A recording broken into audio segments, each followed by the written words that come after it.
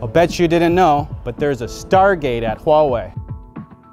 Unfortunately, it can't open a wormhole or take you to Abydos. So what does it do, you might wonder? Well, let's go find out together. Hello again.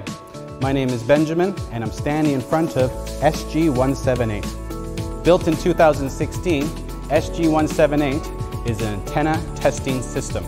As you will see, the door to the shielded darkroom shielding radio waves within from those outside and vice versa.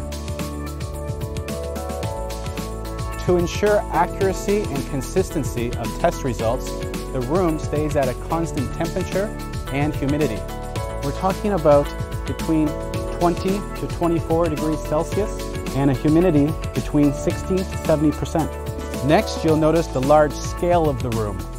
It measures 15 meters high by 12 meters wide and 13 meters in length. Most of the equipment you see here is specialized for testing purposes. For example, all of these blue triangular spikes or reflectors are made from specialized soft material and of course the arc.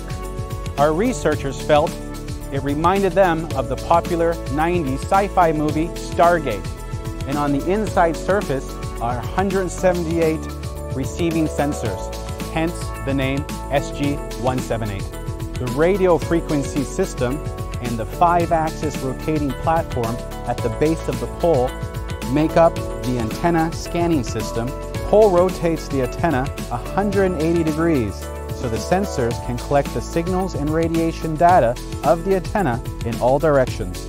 SG-178 can support frequency band tests from 0.4 GHz to 6 GHz which means it covers band tests for 2G all the way up to 5G.